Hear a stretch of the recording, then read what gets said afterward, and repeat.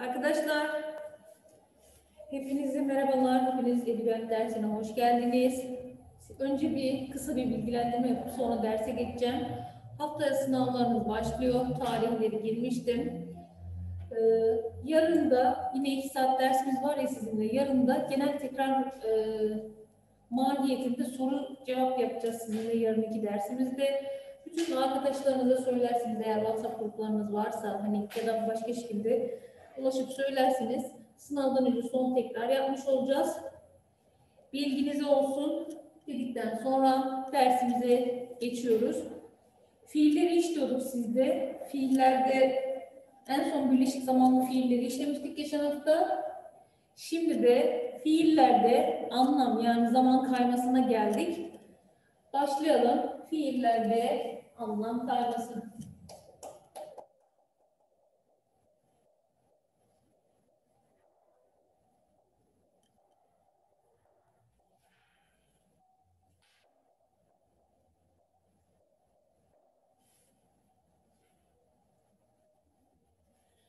Şimdi fiillerde anlam ya da zaman kayması dediğimiz olay ne? Bir fiil çekimlendiği kip ya da fiilin çekimlendiği kip ya da zaman başka bir anlamda kullanılmasına anlam kayması denir. Mesela şimdiki zamandan bahsederken, anlatırken geniş zaman kullanmak gibi mesela kip kayması diyebiliriz buna.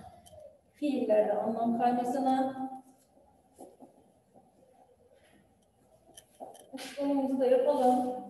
Fiilin çekimlendiği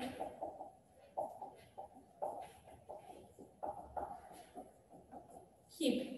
Buna kip de diyebiliyorduk, zaman da diyebiliyorduk değil mi? Geçen hafta söylemiştik. Bir de fiil çekimlenmesi neydi? Geçen hafta konuşmuştuk yine. Fiil artı kip geliyor. Artı bir de şahıs eki gelince fiil bir şekilde çekimlenir demiştik. Fiilin çekimlendiği kip ya da zamanın kip ya da zamanın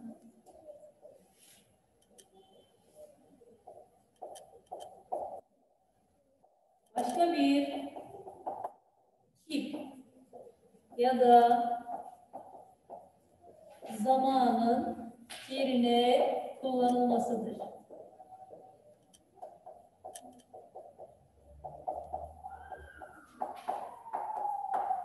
Nedir mesela? Gelecekte yapacağım bir şeyden bahsederken ne kullanmam lazım? Gelecek diye. Ecek, gelecek zamanın ekleri neydi? Ecek acaktı. Ecek acak kullanmak yerine şimdiki zamanı kullanmak gibi anlam kayması. Örneklerle daha iyi oturturuz. Hemen örnek veriyorum. Mesela önümüzdeki hafta işten ayrılıyorum dediğimde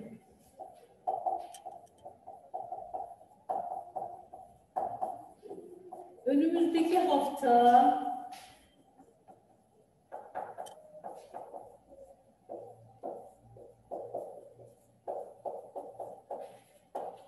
Burada bir zaman kayması var mı? Bakıyorum. Önümüzdeki haftadan bahsediyor. Yani daha gelecekteki bir olaydan bahsediyor. Kipime bakıyorum. Ne demiş? Ayrılıyorum. Bu şimdiki zaman kipi değil miydi? Evet gelecek zaman kullanması gereken yerde neyi kullanmış? Şimdiki zamanı kullanmış. Buna biz ne diyoruz? Zaman, anlam ya da tip kayması diyoruz fiillerde. Kaç tane daha örnek yapayım?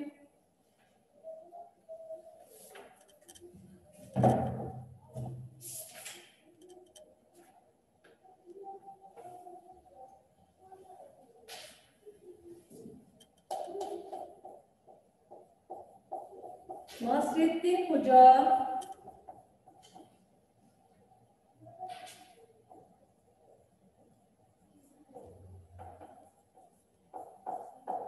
eşeğine binip gidiyor. Burada bir zaman kayması var mı? Cevapları sizden alayım. Tekrar sormuştum. Tekrar mı? Evet arkadaşlar yarınki dersimizde sınavdan önceki soru cevap şeklinde bir tekrar yapacağız. Hepiniz yarın gelin dersi olur mu? Tekrarımız yarın olacak, bugün değil.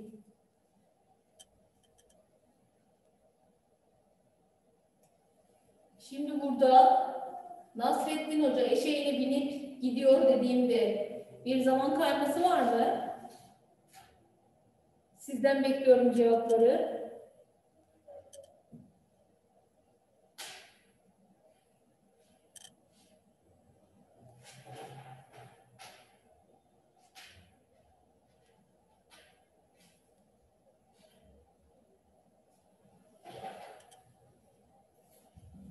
Cevap var mı hocam? Şimdiki zamanı gidiyor demiştim. Geçmişte olan bir şeyden bahsediyor değil mi? Miş, mişli geçmiş zaman kullanılması lazımdı. Yani duyulan geçmiş zaman. Çünkü onu görmedik, bilmiyoruz. Çok önceden gerçekleşmiş bir olay. Geç, geçmişten bahsettiği için görülen, duyulan geçmiş zaman kullanılması gereken yerde şimdiki zamanı kullanmış. Burada da bir anlam, zaman kayması vardır diyoruz.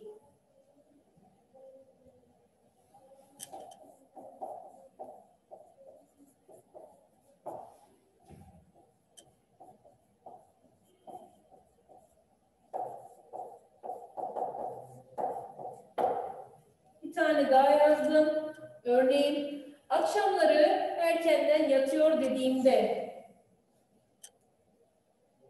yatıyor şimdiki zaman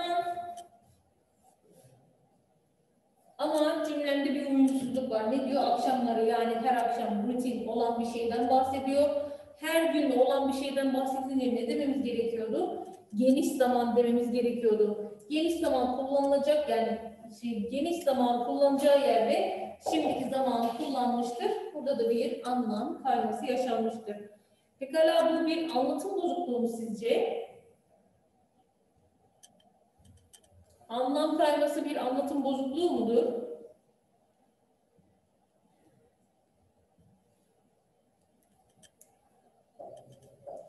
Geniş zamanı normalde demiştim. Evet, geniş zaman.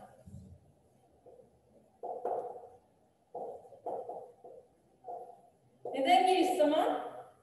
Akşamları diyor değil mi? Her akşam rutin olan bir şeyden bahsedince geniş zaman kullanmamız gerekiyordu.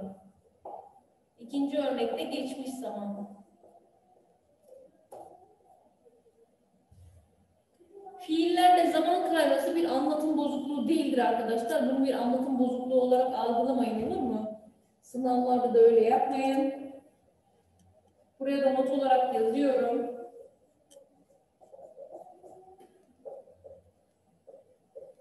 Keep anlam ya da zaman kayması. Bunun üçü aynı şey.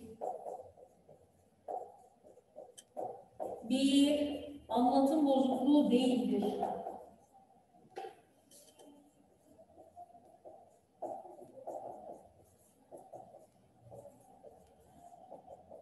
Anlaştık mı? Bu bir anlatım bozukluğu değildir. Fiillerde anlam kayması.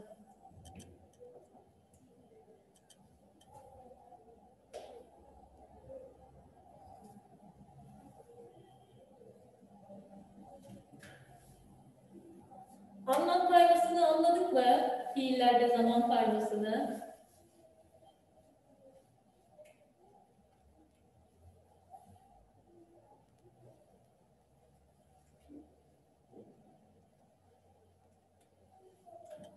Dinledim.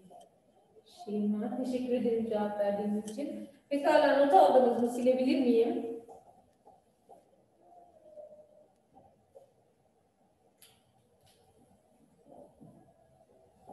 Sanırım yazdınız. Tamam.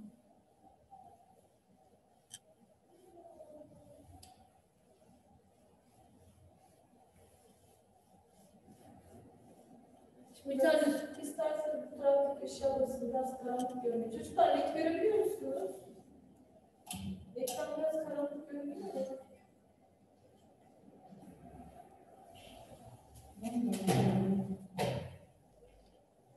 Sizden net görünüyor mu hocam ekranda bilgisayarda? Tamam. Bir tane soru çözelim arkadaşlar.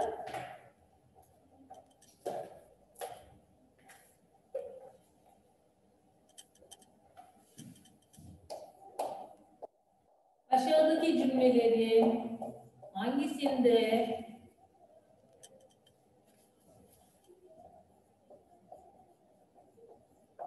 geleceğe yönelik bir eylemden bahsedilmektedir.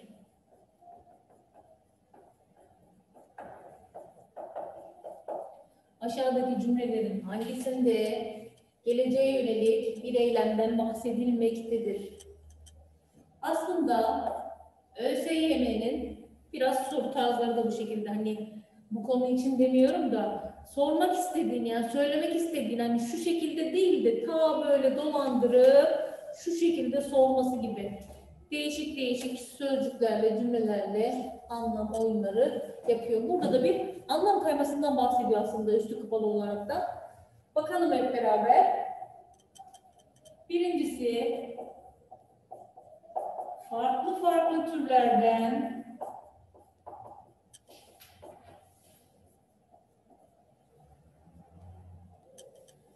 yararlandığı için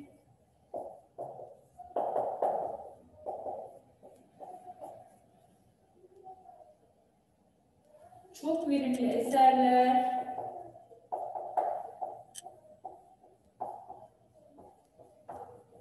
Ortaya koyuyor. B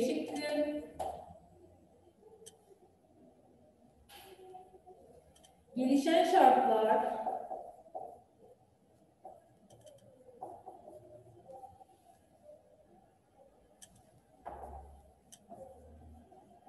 hareketsiz, stresli,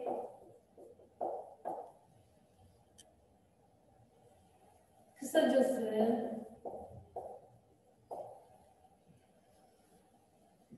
sağlıksız bir yaşama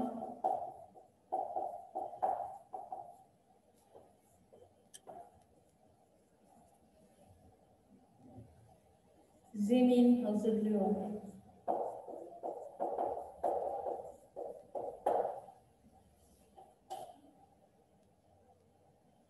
Geçtiğimiz yıldan beri C şıkkı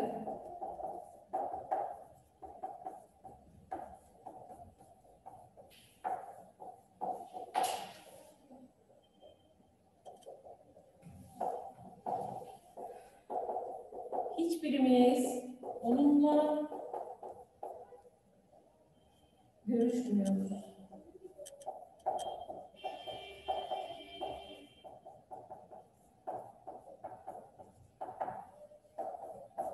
D şıkkı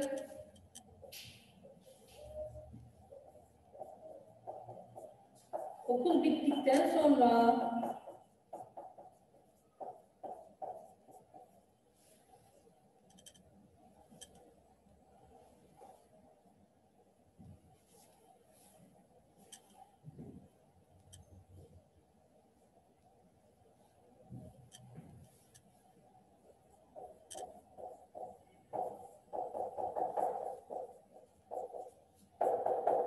yüksek lisans için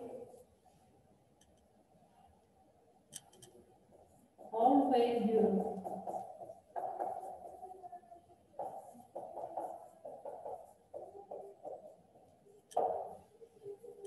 Hepiniz tahttan yet görebiliyor musunuz? Soruyu okumamı ister misiniz?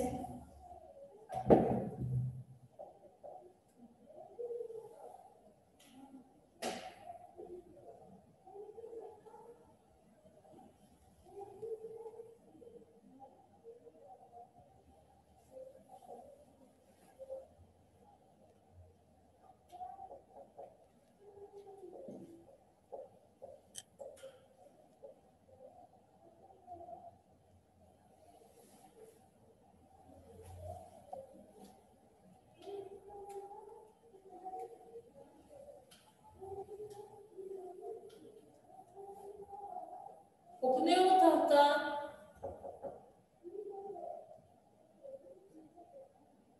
Evet. Tamam. O zaman cevapları alayım.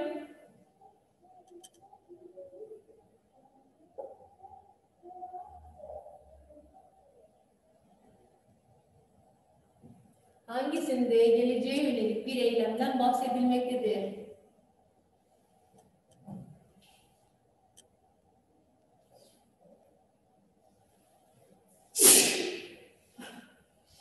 Yaşayın hocam. Deniz demişler hocam. Hepsi denizde demiş mi? Serkan Ceyhan demiş. Serkan. Neden Ceyhan Serkan? Geçtiğimiz yıldan beri hiçbirimiz onunla görüşmüyoruz. Geçtiğimiz yıl diye de belirtmiş ya bu geçmişte olan bir olay. Geleceğe yönelik bir değil ki. Geçmişten bahsediyor değil mi? O yüzden C olamaz. D okul bittikten sonra yani gelecekten bahsediyor. Burada bir anlam kayması var ama bu bizi şaşırtmaması gerekiyordu. Okul bittikten sonra yüksek lisans için Avrupa'ya gideceğim aslında. Geleceğe yönelik bir eylemden bahsediyor. Gelişen şartlar, gelişen şartlar deyince ne geliyor aklımıza? Zaten hani olmuş bir şey değil mi? Geçmişte olmuş bir şeyden bahsediyor. Hareketsiz, stresli, kısacası sağlıksız bir yaşama zemin hazırlıyor. Soruyu ters anlamış. Öyle mi? Tamam.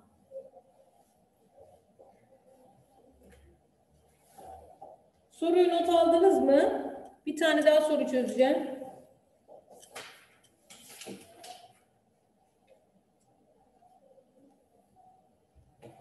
İki kişi aldım dedim. Tamam.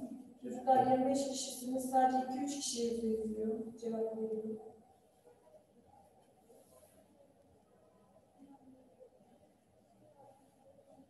Siliyorum o zaman.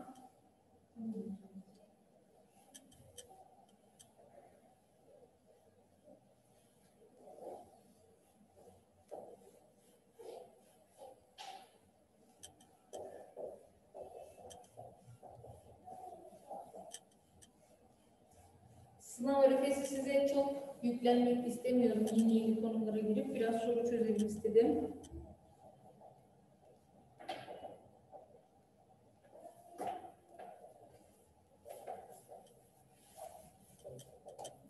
Aşağıdaki cümlelerin hangisinde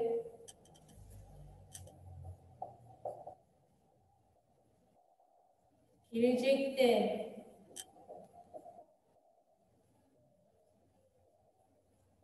gerçekleşecek olan bir iş bugün yapılmış gibi anlatılmıştır. Bugün yapılmış gibi anlatılmıştır. Soruyu iyi okuyun, iyi anlayın tamam mı arkadaşlar? Bu bunun için söylemiyorum. Normal ÖSYM sınavlarında da dikkatli olmanız adına. Aşağıdaki cümlelerin hangisinde gelecekte gerçekleşecek olan iş bugün yapılıyormuş gibi, yapılmış gibi anlatılmıştır. Bakalım. A şıkkı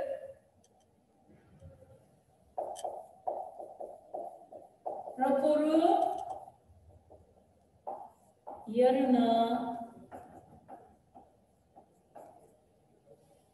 yetiştirmek için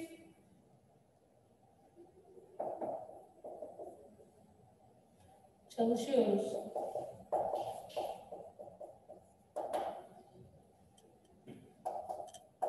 B şıkkı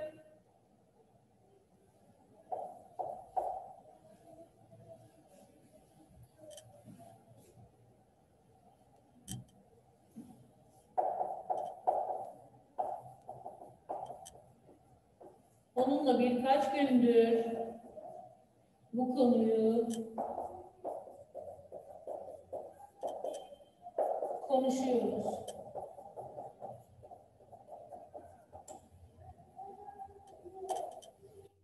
C şıkkı iki yıldır bu semtte oturuyoruz.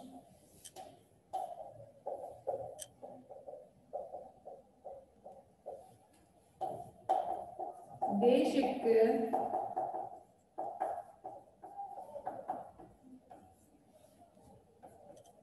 Önümüzdeki ay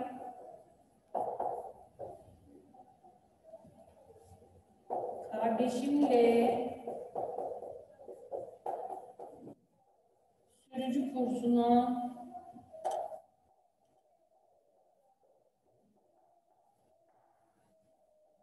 başlıyoruz.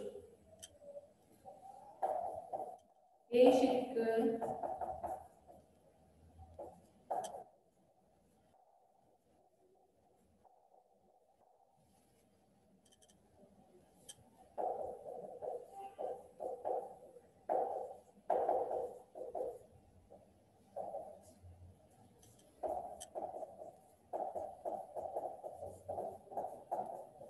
Toplantıda alınan kararları üyelerimize duyuruyoruz.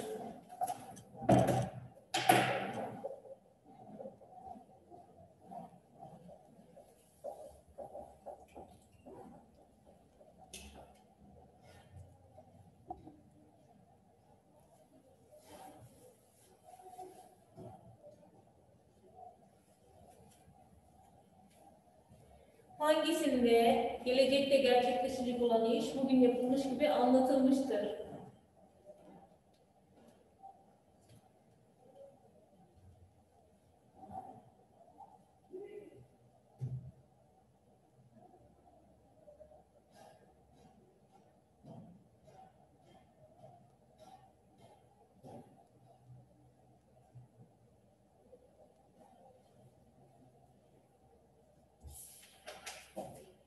A demiştim hocam. Al. Neymiş? Raporu yarını yetiştirmek için çalışıyoruz. Başka bir fikri olan var mı?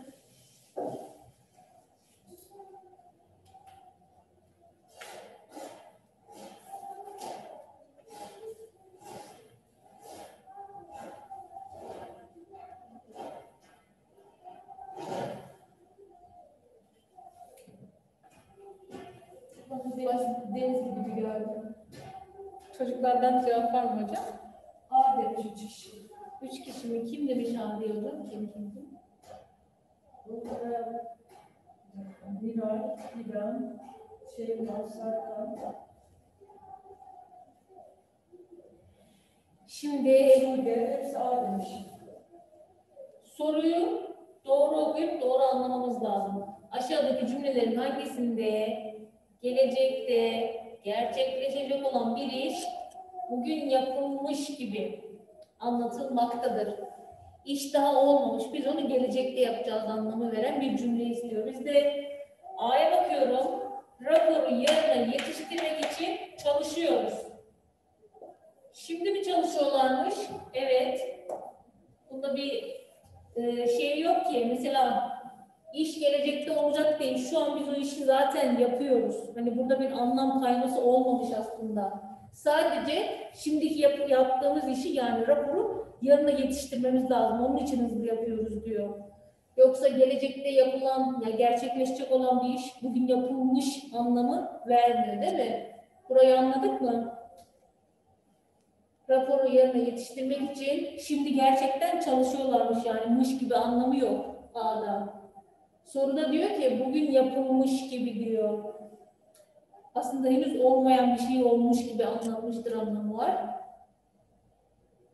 Devam ediyorum. Onunla birkaç gündür bu konuyu konuşuyoruz. Bu zaten birkaç gündür konuştukları şeyden bahsediyormuş, konudan bahsediyormuş. C'ye geldim. İki yıldır bu semtte oturuyoruz. Oturmaktayız. Hala oturuyoruz. Burada da bir problem yok. Geldik D şıkkına. Önümüzdeki ay kardeşimle sürücü kursuna başlıyoruz. Şimdiki zaman eki. Şimdiki zamandan mı bahsediyor? Ama aslında şimdi olmayacak değil mi? Önümüzdeki ay diyor. Gelecekte gerçekleşecek olan bir iş değil mi önümüzdeki ay? Sürücü kursuna gelecekteki yani önümüzdeki ay başlayacağız. Demek ki bahsettiği şey bu. Hani gerçekleşme, gelecekte gerçekleşmekte olan bir işin sanki şimdi yapmış gibi anlamı var değil mi? Önümüzdeki ay kardeşimle sürücü kursuna başlayacağız olması lazımken başlıyoruz demiş. Burayı anladık mı D şıkkını? Cevabımız D şıkkı bu arada. Zaten de mavi görünüyor mu bilmiyorum ama anladık mı? Soruyu doğru anlamak lazım, doğru okumak lazım arkadaşlar gençler. Toplantıda alınan kararları üyelerimize duyuruyoruz. Zaten şimdi yaptığı işten bahsettiği için herhangi bir anlam kaygısı yok. Cevap var mı hocam? Anlamışlar mı? Anladım demişler. Tamam. Dikkat edin tamam mı? Önümüzdeki ay gelecekteki bir, gelecekte gerçekleşecek olan bir olay. Kursuna başlamak.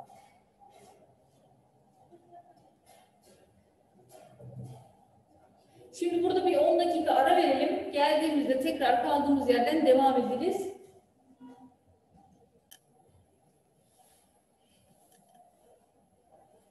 Soruyu anladık demişlerdi değil mi? Yani? Siliyorum.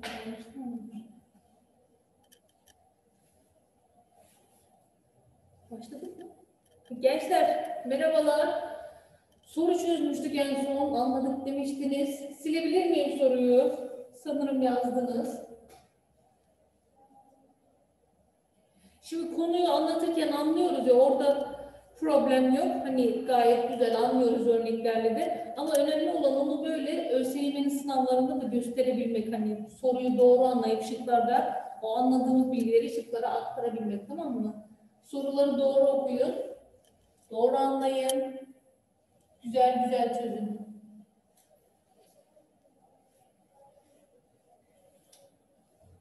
Fiillerle devam ediyoruz. Sözcük türlerinin en uzun konusu demiştik fiiller için. Geldim. Fiillerde yapı ya da yapılarına göre fiiller diyebiliriz. Şöyle kısa bir hatırlatma yapmak istiyorum. Sözcüğün türü deyince neyi arayacaktım ben? Bana yazdırır mısınız? Sözcüğün türü deyince neye bakacaktım?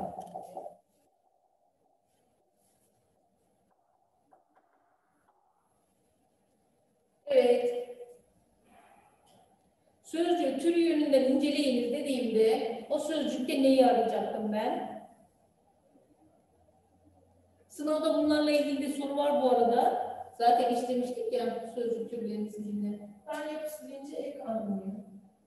Türk deyince de sıfat edat işte cümlenin öyle bir Hocam ya bu sizin yorumunuz mu? Bana benim Tamam. yorumum. Tamam. Ben kendim bir yorum söyledim. Şeyma da aynı şeyi söylemiş. İsim sıfat zamir edat demiş. Serkan da isim demiş. Yapısı için bir şey dememişler.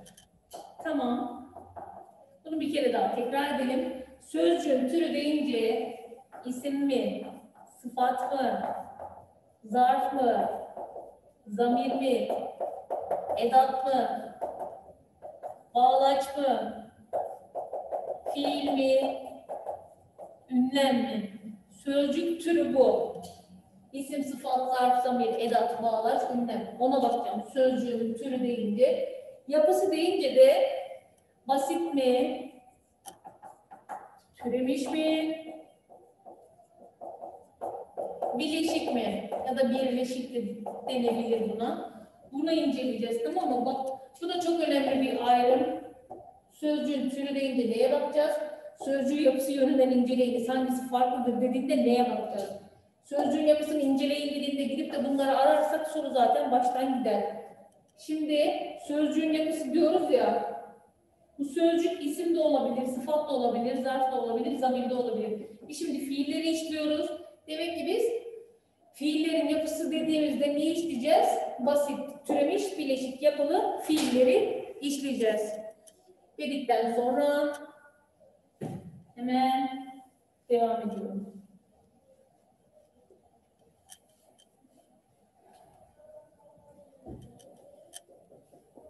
Fiilde yapı.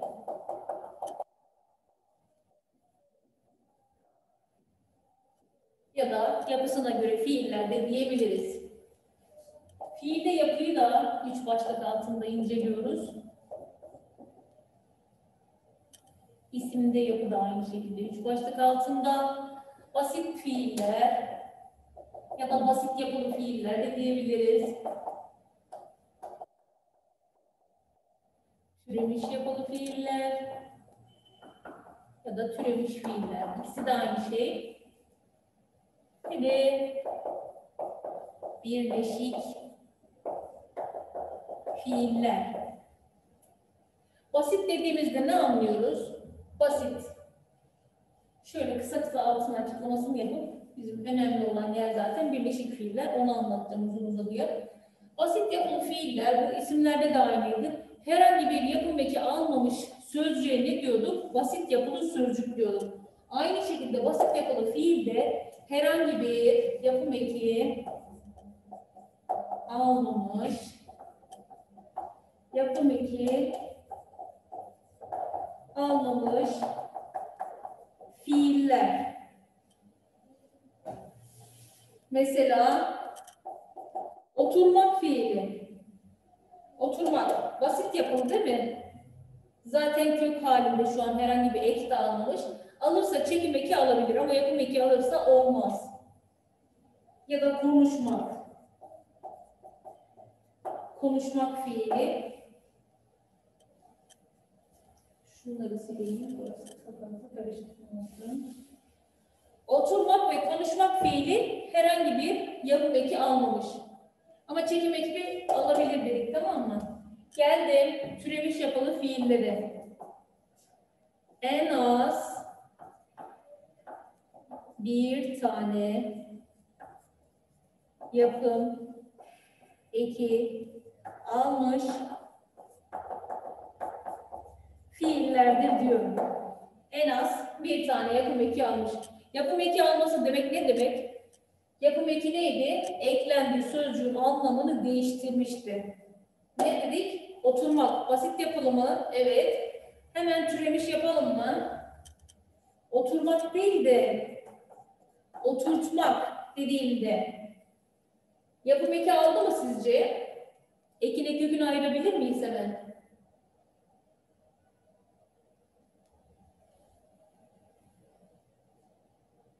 Evet. Sizce bu bir türemiş fiil oldu mu? Yapım eki almış mı? Oturtmak. Ya da direkt uzun uzadıya yazayım böyle mastar halinde bırakmayayım. Mesela sandalyeye onu oturttu dediğimde ekine gücünü ayırabilir misiniz bana? Onu sandalyeye oturttu diyelim. Tu yazmış Sude sadece. Ne oluyor Sude tu? Oturt ve tu'yu ayırmış.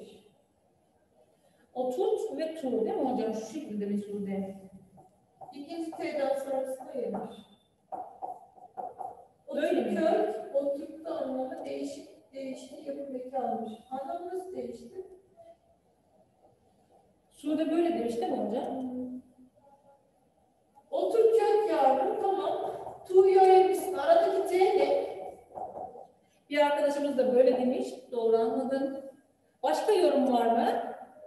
Başka Aradaki T'yi açıklamıyor ama sadece otur kök diyor. Tu'yu ayırmış. Aradaki T'yi açıklamıyor. Bence o da açıklaması lazım. Hemen açıkla. Havada kalmaması lazım. Onu hemen açıklaman Ben lazım. açıklayacağım hocam dayanamıyorum. Özgür Hoca'yı burada zor tutuyoruz. Sizin yerinize o cevaplıyor bütün soruları. Şimdi arkadaşlar birinci kullanım yanlış. Bu şekilde bölmüyoruz. Oturmak fiilimin kökü, fiil kök, oturtmak. Oturmak dediğim ne? Birisin yani kendimden bahsedeyim. Oturmak, kendim oturuyorum değil mi? Bunu ben kendim yapıyorum. Bu herhangi bir yapı eki almamış. Oturtmak dediğim şey birine tutup oturtuyorum değil mi? Zorla ya da hani oturamıyordur ben ona yardım ediyorum. Anlam değişti değil mi? Edildi mi? E, edilgen değil de burada yapı oldu. Başkası eliyle yapılmış olan edilgen mu? Hani etken olunca kendin yapmış ama başkasının yaptığı edilgen mi? Şey hocam şu an buradaki konu o değil. yapım ediyor orası. Şu an yapım eki aldı. Hatta şu şekilde düzenleyelim. Biraz daha uzun yazayım ki sığsın. Oturt. Tu dediğimde. Oturtmak, başka birini oturtmak değil mi? Fiilden fiil yapım eki oldu mu? Yapım eki. Fiilden fiil yapım eki oldu. Neden fiilden fiil dedim? Zaten kelimenin kökü fiildi ya. Fiilden fiil yapım eki oldu. To da neydi? Bilinen, geçmiş, zaman, eki idi. Hocam yapım eklerinin bir listesi var mı? Dört tane evet fiilden, fiil, fiilden isim, isimden isim, isimden fiil. Yok şey eklerin bir şey listesi mı? Ha yok o şekilde yok. Belli başlı ekler var ama genel olarak anlam değişince. Burayı anladık mı? Oturttu. Bu bir türemiş fiildir.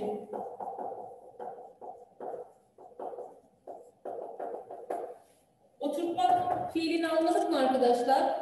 Anlam değişince yani yapım eki alınca ne diyormuşuz? Türemiş fiil diyormuşuz. Aynı şekilde konuşmak bir fiil, konuşturmak bir türemiş fiil. Konuşmak basit fiil, konuşturmak türemiş fiil. Ona da örnek verelim mi? Konuşturdu, konuşturmuş şeklinde. Konuşturmuş.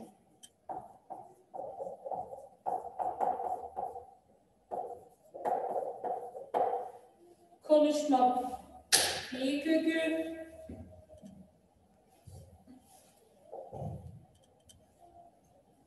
Konuşmak fiil kökü, konuşturmak fiilden fiil yapım eki. Kuştu da, duyulan, geçmiş, zaman eki. Bu da bir türemiş fiil oldu. Anlaştık mı arkadaşlar? Gençler.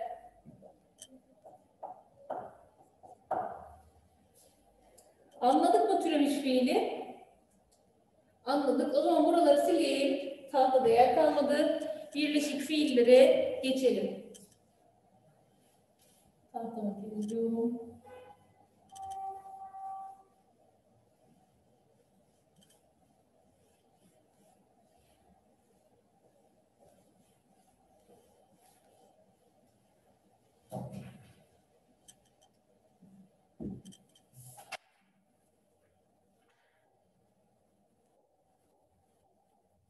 Birleşik fiil.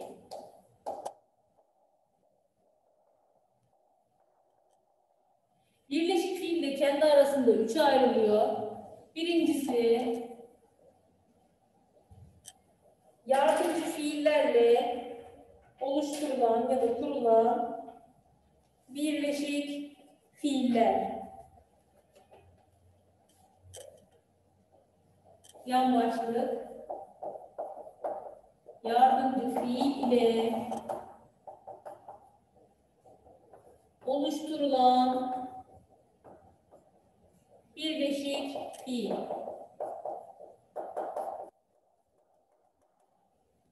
Yardımcı fiil dediğimiz fiillere örnek verebilir misiniz bana? Nedir yardımcı fiil?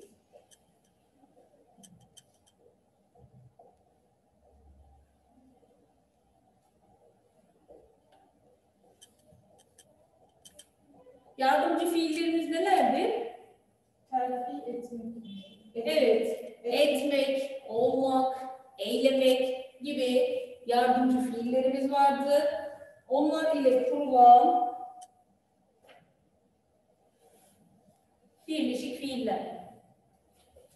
Yardımcı fiil ile kurulur dedik ya, yardımcı fiillerimiz de yani o fiiller isim soylu sözcüklere geliyor arkadaşlar. Zaten fiile gelemez onlar. İsim soylu sözcüklere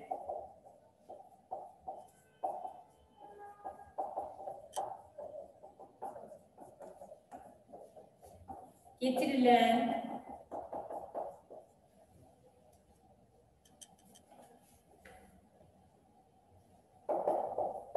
etmek, olmak, kılmak, eylemek. Gibi.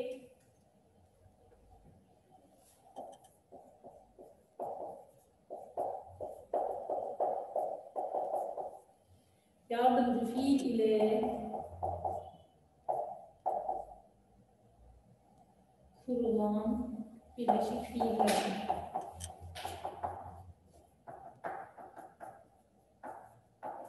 Yani mantık neymiş? İsme gelen yani isim artı yardımcı fiil eşittir birleşik fiil. Bu şekilde kuruluyormuş. Birinci fiilim, birinci birleşik fiilim. İsim artı yardımcı fiil şeklinde kuruluyormuş. Mesela terk etmek ya da hissetmek.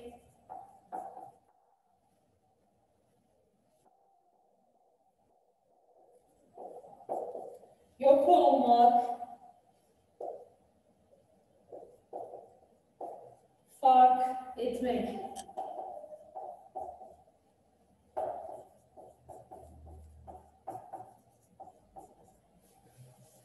Hapsolmak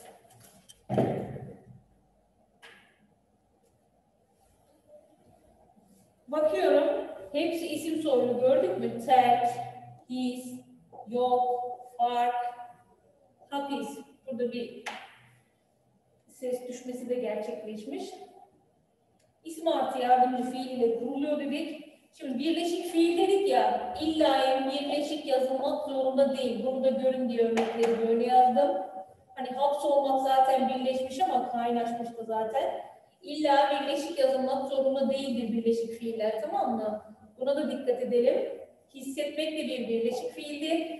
Terk etmek de bir birleşik fiildir. Bunu yazın devam edelim.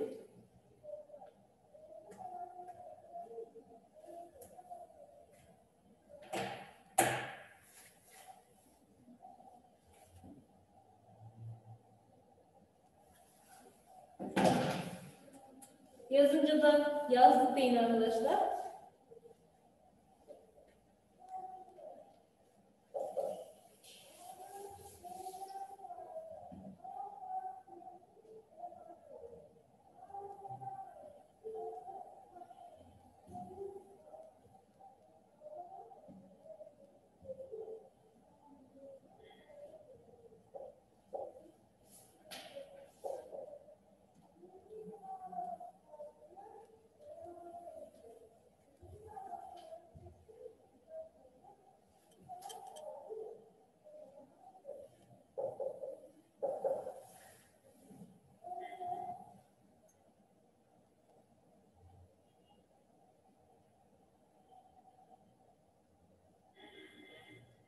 Not aldık mı?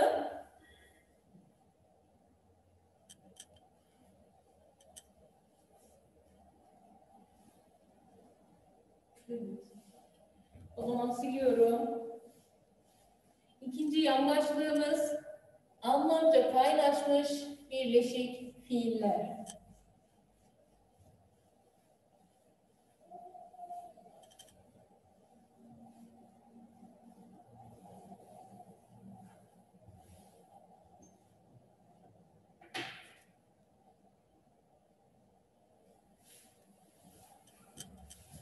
İki.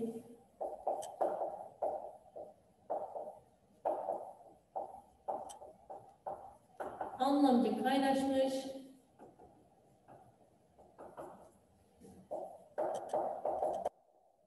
Birleşik fiiller. Nedir anlamca kaynaşmış bir, birleşik fiiller? En az iki sözcüğün bir araya gelmesiyle kuruluyor ama genelde gerçek anlamlarından uzaklaşarak kurulmuştur. En az iki sözcüğün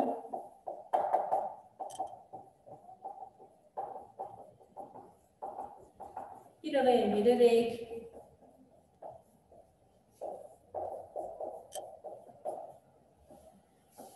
Genelde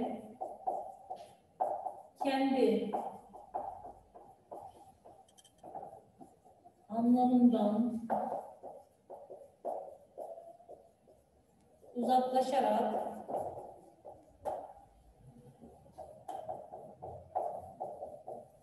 oluşturulduğu oluşturduğu birleşik fiildir. En az iki sözcük bir araya gelecek. Genelde de kendi anlamlarının dışına çıkmış oluyorlar. Nedir örneklerimiz? Mesela bir sınav başvurusunda bulunacağız ya başvurduk diyoruz. Başvurma mesela. İki tane sözcük mü var burada? Birisi baş, birisi vurmak. Başvurmak ne demek? Bir yere müracaatta bulunmak anlamında değil mi? Buradaki başımla bir yere vurmak anlamında mı? Hayır, tamamen o anlamını yitirmiş. Yeni bir anlam kazanmış. Baş, vurmak mesela. Göz koymak dediğimizde iki tane sözcük var? Göz ve koymak. Gözümü alıp bir yere koyuyor muyum? Hayır. Artık anlamca kaynaşmış bunlar. Bu gerçek anlamın dışına çıkmışlar. Anlamca birbiriyle kaynaşmışlar. Ya da varsaymak. Varsaymak. İki tane sözcük mü birleşmiş yine? Biri var, biri saymak. Birisi saymak 1, 2, 3, 4, 5. Birisi de var, bulunmak anlamında. Ama şu an kesinlikle o anlamda kullanılmıyor. Hani diyelim ki öyle oluyormuş gibi kabul edelim anlamlarını kazanmışlar. Anlamca kaynaşmış fiillerimiz de bu şekilde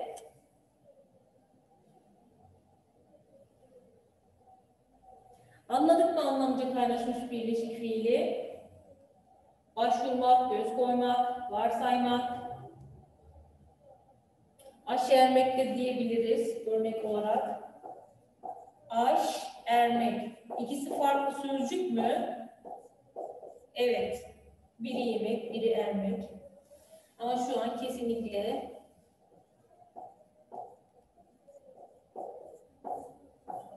kendi anlamlarını yitirmiş, başka bir anlam kazanmışlar. Not alınca aldık deyin. Devam edelim. Yazmışlar hocam. Tamam.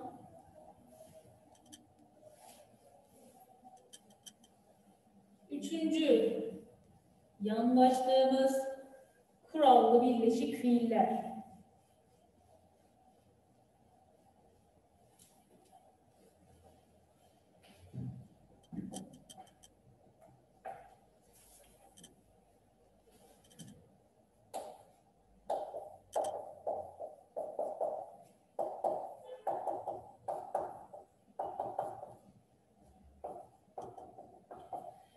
Kurallı fiiller kendi arasında dörde ayrılıyorlar. Bunları tek tek yazdırmayacağım da biraz daha kısa kısa hemen anlayalım diye. Nedir bu fiiller? Birincisi yeterlilik fiili. Yeterlilik fiili. Aldığı ek, e bilmek. Hatta direkt bir ikinci yazalım. E bilmek, a bilmek.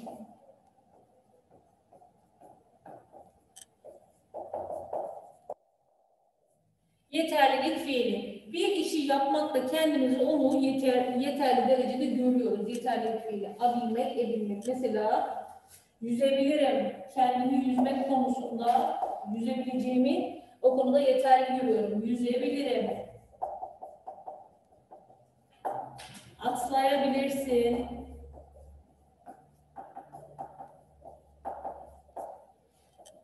konuşabilir.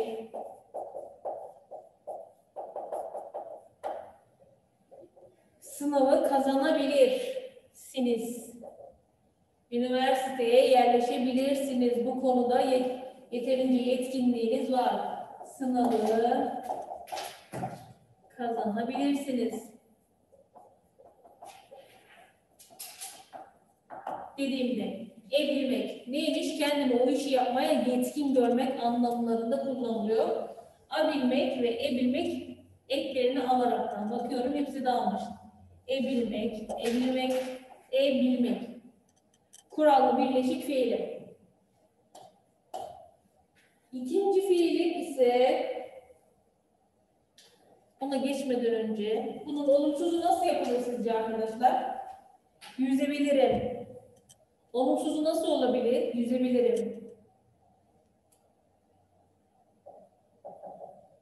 Atlayabilirsin. Olumsuzu Yüzemeyebilirim demiş zaten. yüzemeyebilirim. Atlayamayabilirsin. Bu şekilde mi?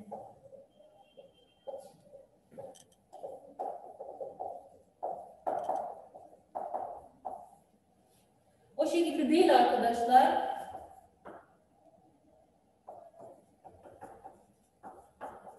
Ebilmek tamamen atılıyor tamam mı? Yüzebilirim, yüzemem.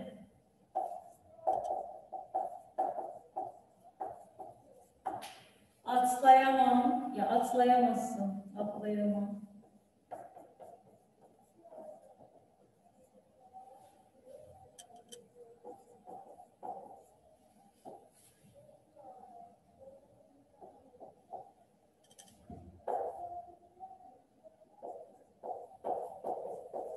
Konuşamazsın.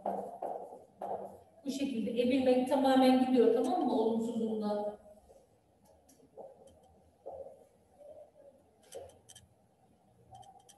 Yüzebilemem değil, atlayabilemem değil, yüzemem, atlayamazsın.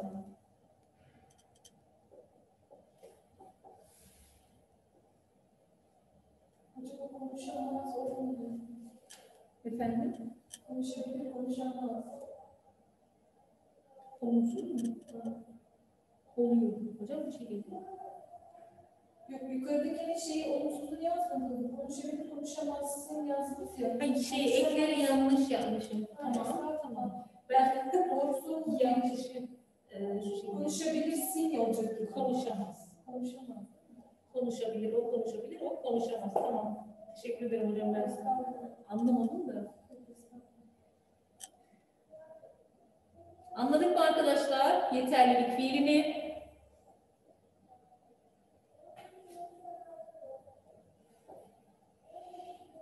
Sevebilirim, sevemem gibi de örnekleri çoğaltabiliriz. Silebilir miyim?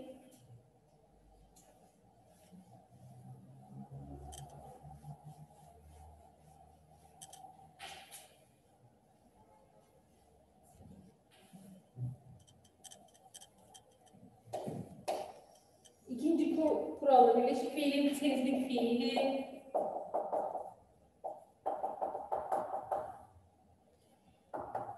İ vermek. Aldığı ekler. ı vermek. Tezlik fiilinde adı üstünde bir şeyi aceleden hemen yapıvermek. Zaten eklerinden de bunu anlayabiliyoruz. Yapıvermek, edivermek. Mesela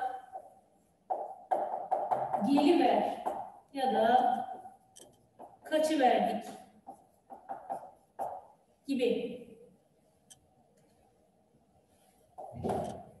Sürerlilik fiili geldi üçüncü kurallı birleşik fiilim. Sürerlilik ya da sürerlilik fiili. E durmak, aldığı ekler, e gelmek ya da a gelmek diyebiliriz. Aldığı üç tane ek var. Hani ola gelen bir şeyden bahsediyor burada da sürerlilik. Henüz bir şey bitmedi, daha devam ediyor. Mesela sen yapadır, gide durun. Gide durun. Örneklerimiz alışıla gelmiş.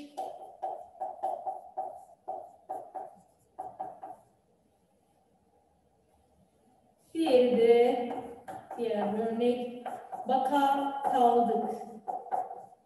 Henüz bitmemiş değil mi? Sürerlilik hala devam ettiğini anlatıyor. Son kurallı birleşik fiilimizi yaklaşma. Yazmak.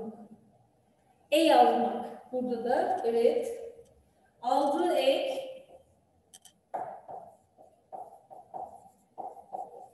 E yazmak.